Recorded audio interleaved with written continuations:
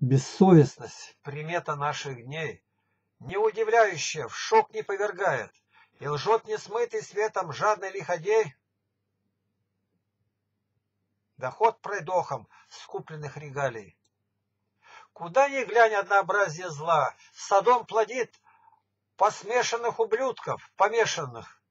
Парно похотливо бешенство козла, Ждут свет клубнички, разбавляя клюквой без совести, без голоса в душе, не слышат небо, глухи и к земному.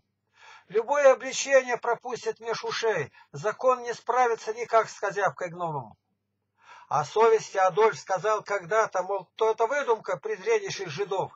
Но коммунист похотливо поддакнул, им подражать и террорист готов.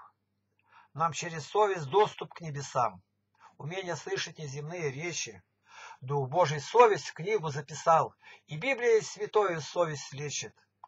Бессовестные дети развратные, скотоподобные выродки неверия Стучат пророки днем к нам многократно и ночью долбят по закрытой двери. Сам Иисус не может достучаться до совести, до сердца сердцевины. И потому вломились к нам несчастья, и потому мы все в грехе повинны. Лишь на молитве ныне один из ста шанс из ста. Пробиться к совести, закованной в гробнице, с раскаянием припасть к ногам Христа, ключ к совести в его руке хранится. По совести, по правде всем на диво, с утра до вечера и снова до утра, крепиться, выстоять, как роза над крапивой, все, что без совести, химера и мираж. 9 ноября 2005 года.